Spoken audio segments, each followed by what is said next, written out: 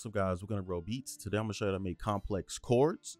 All right, and if you guys haven't subbed already, make sure you do hit that sub button because it does help me out a lot. And let's just get started. Now this video is gonna be part one and then part two will be uh, complex melodies. So make sure you come back for that. And the reason I'm doing that is because these are complex and I don't want to confuse people by putting it all in one video. So I'm gonna separate them to make it you know a lot more simple. So I'm gonna grab a scale here. I'm just grab default F minor. Now, uh, my videos usually build on one another, so most of you should know already. Start with your foundation, which is your bass notes. So let's go all the way to the lowest bass note we can go to. So,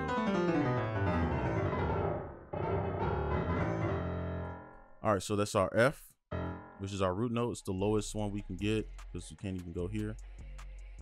Now, place it here, offset it a bit, to create some bounce later. And then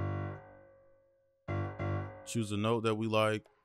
You really want this part, these bass notes to sound good because this is your foundation. Without this, it's everything can sound thin and weak. So you don't want that. So let's play it.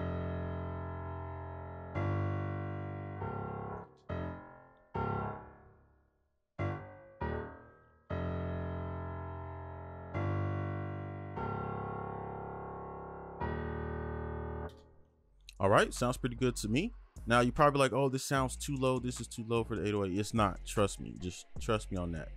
So now we're gonna add more tone and just pull this up an octave, copy it, and then control up. And then we can lower the velocity just a bit. And this is just gonna add a little bit more tone to it.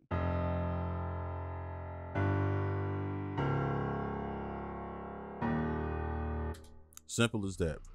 All right, so now this part, you can go up one octave or two octaves. So basically I take this note and I just pull it up two octaves. Okay, and that's gonna start, that's gonna be our first note for our chord. So this first part and each each of these is one part. So this is the easiest part and this is gonna be our hardest part to do for the chord, all right? So what you wanna do is skip every other note first and this is the easy part. So basically in this scale which are the white notes here you skip every other note from the root. So start here go to the next one skip this one go to this one. Skip this one go to this one. Now to make this complex because this isn't complex to make this complex you take this control down all right and now this looks something a little bit more complex right? Especially when you bring these in. And complex and what a complex chord is pretty much to me is if you look at it and you can't figure out how they got the chord to look that way then it's pr pretty much complex okay? And and basically what i mean by that is like if you would use the chord method here so skip every note up it doesn't follow the it doesn't follow the method right? So most people won't be able to figure out how you got this note there all right. And then a cool thing you can do is uh-huh. actually do this and then mesh them to get a more lush sound. So, all right. But we're not going to do that. That's a whole nother video. So second part, same thing, pull it up two octaves.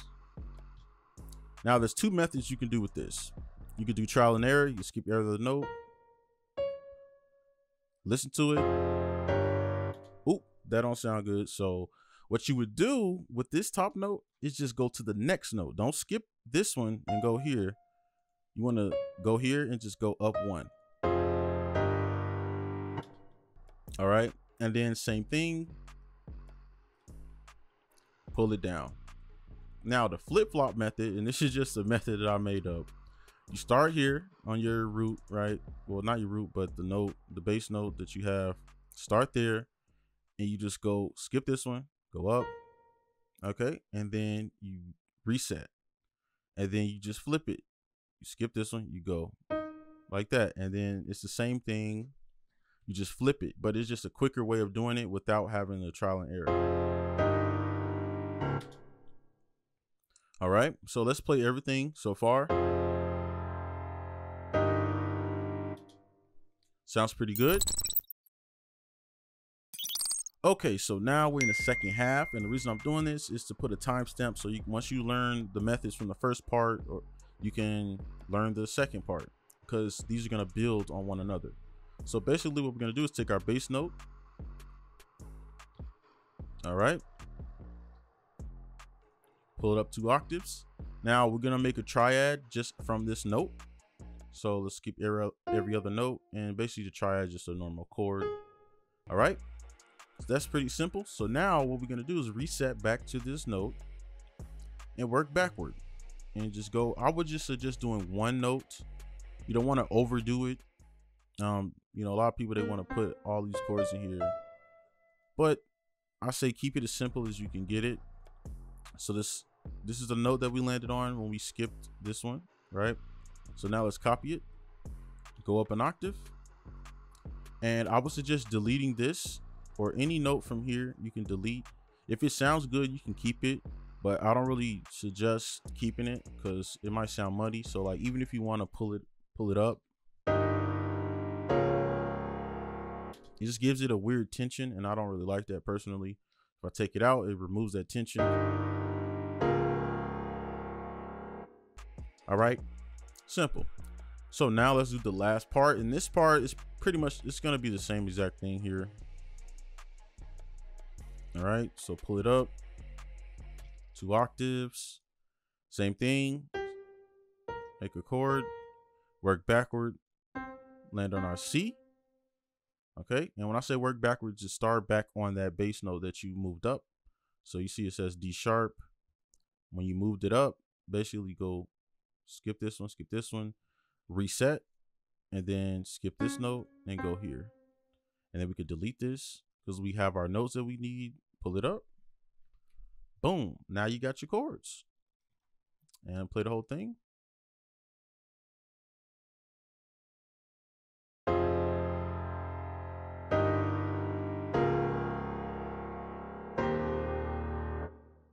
All right. And what we could do over here, if you want to like add some rhythm, I'll show you some. You can, let me see, we could pull this.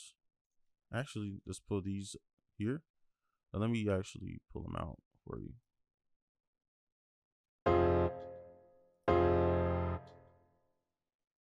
So we could do something like this, copy it, give it a little different rhythm.